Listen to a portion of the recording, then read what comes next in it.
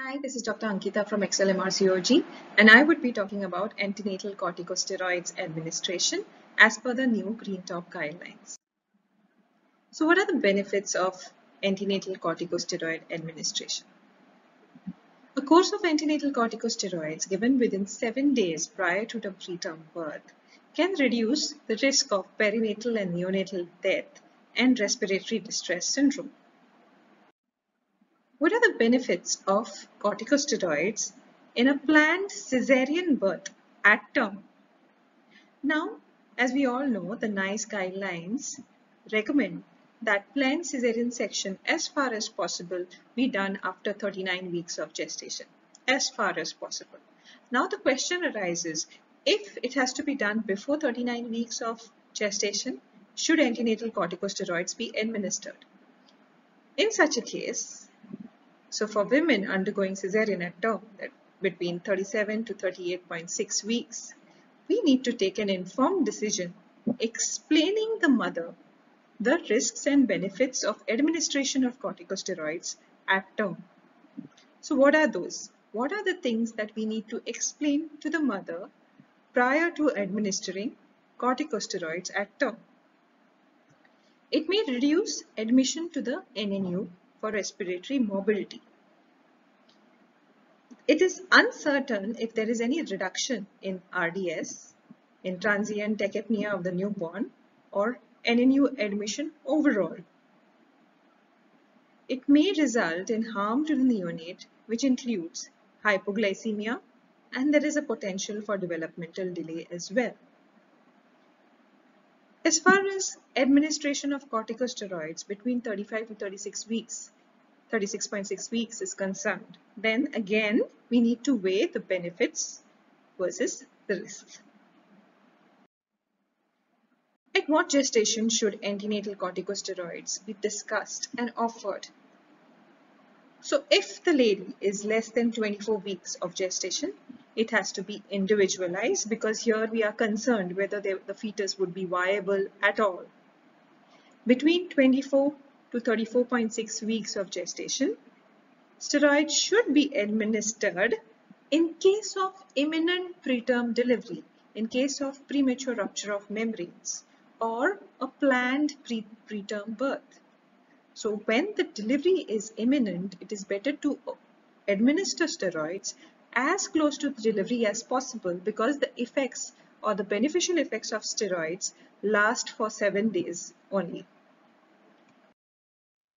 So what are the risks and benefits of antenatal corticosteroids? Between 22 to 34.6 weeks, it is highly likely to reduce perinatal mortality, neonatal mortality, and neonatal respiratory distress.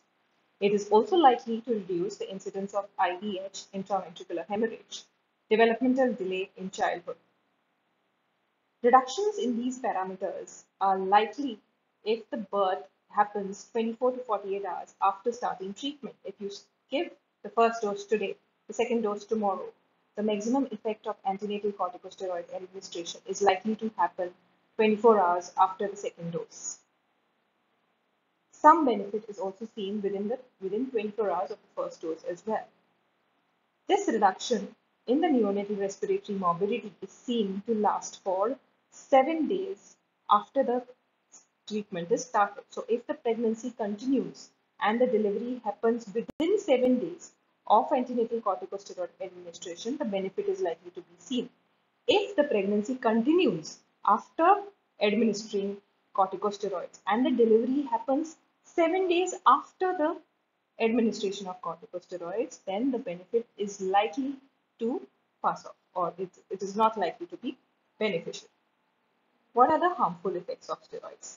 It is likely to affect the maternal glucose tolerance and as such result in maternal hyperglycemia which can last for 5 days and may result in neonatal hypoglycemia as the blood sugar levels in the mother rise. It is likely to reduce birth weight if birth is delayed for more than 7 days. So the benefit is going to wear off. Not just that, if the birth gets delayed, then the birth weight of the baby may be less than expected after administration of corticosteroids if delivery delay is delayed beyond 7 days of the last dose.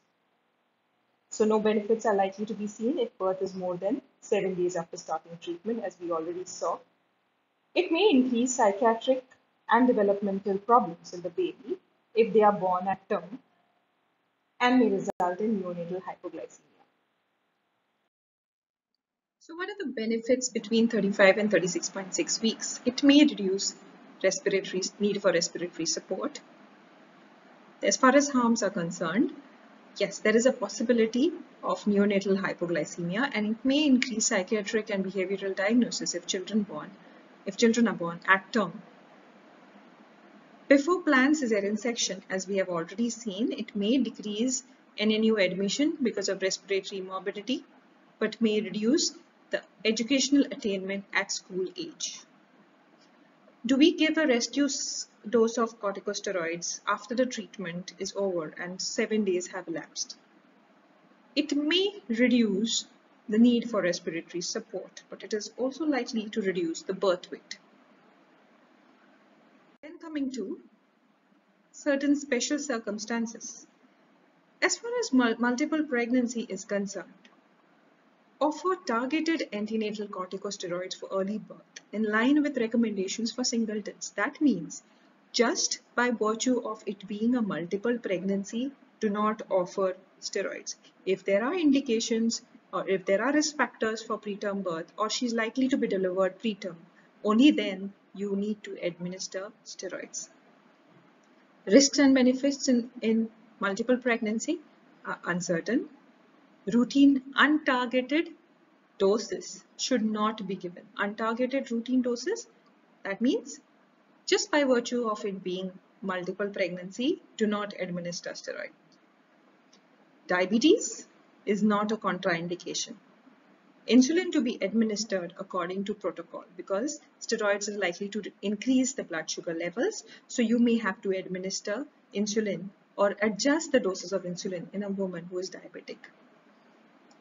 For women undergoing cesarean section, at 37 to 38 weeks, you need to explain to them the risk of neonatal hypoglycemia because this is particularly the case when there is diabetes already. So as far as small for gestational age babies are concerned, corticosteroids are to be given if preterm birth is likely and there is little evidence to suggest that steroids would perform differently in babies with growth restriction compared to the overall preterm population. As far as PPROM is concerned, if there is PPROM and you think that the delivery is likely to happen soon, then it is always better to give steroids. So what is the optimum dose and route of administration of a course of antenatal corticosteroids? 24 milligrams dexamethasone phosphate is given intramuscularly in two doses of 12 milligrams 24 hours apart or four divided doses 6 milligram 12 hours apart. An alternative is 24 milligrams betamethasone sodium phosphate or acetate mixture given intramuscularly in two doses 12 milligrams 24 hours apart. A Cochrane systematic review found that dexamethasone compared with betamethasone reduced the risk of IVH that is intraventricular hemorrhage is cheaper and does not require refrigeration. How long after administration is a course of antenatal corticosteroids most effective? As we have seen already, antenatal corticosteroid use reduces neonatal death when the first dose is given within 48 hours prior to birth. So you give the dose today, the first dose. The maximum effect would be after 48 hours of the first dose or after 24 hours of the second dose. Benefits are also seen when the first dose is given within 24 hours of birth an antenatal corticosteroid should still be given if birth is expected within that, this time. So you know that there's a patient who's come in preterm labor and she is getting good uterine contractions and she is likely to deliver within 24 hours, you still give antenatal corticosteroids because there is some benefit even after or even within 24 hours of the first dose of corticosteroids. Antenatal corticosteroids are most effective at reducing RDAs, RDS in pregnancies where birth occurs between 24 hours and 7 days of administration of the second dose of antenatal corticosteroids. So we have already seen this. So what are the contraindications? There are no definite contraindications as such, but if the birth is immediate birth is necessary because of a maternal or fetal condition that warrants an immediate birth, you should not delay the birth because you want to administer corticosteroids. For example, if the patient has come with, say, uh, complication of preeclampsia, like she's come with eclampsia, you should not be delaying birth because you want to administer corticosteroids. In the presence of systemic infection, the potential beneficial effects of antenatal corticosteroids intended for the baby are to be balanced against the effect of exacerbating the severity of systemic infection both for the woman and her baby. So if there is an infection, it may exacerbate the infection because it is steroids. So that has to be weighed against the beneficial effect of steroids on the baby. In what circumstances should an antenatal corticosteroid course be repeated? Do we repeat if the if you administer the uh, antenatal corticosteroids because of likelihood of preterm delivery. But then the delivery is delayed to more than seven days when you know that the effect of corticosteroids is likely to wean off. In such a case, do we administer another rescue dose? So what has been found from studies is that there is no reduction in serious morbidity or long-term benefits if you do repeat the dose in case the delivery is delayed. There is limited evidence to recommend repeat courses of antenatal corticosteroids if a woman remains at imminent risk of preterm birth seven days after administration of antenatal corticosteroids. However, a further course may reduce the need for neonatal respiratory support. The maximum number of corticosteroid courses given in any pregnancy should not exceed 3 because with multiple doses the babies born are likely to be smaller. So you need to explain these factors to the mother that if you do repeat courses and the pregnancy is delayed further, the baby is likely to grow smaller than otherwise. But a repeat course of corticosteroids given after 7 days of the previous course in case of preterm delivery may reduce the need for respiratory support for the baby. So these things are to be explained to the patient and an informed consent would have to be taken about repeating the course of antenatal corticosteroids. Thank you everyone. Happy studying and I hope you have found this useful.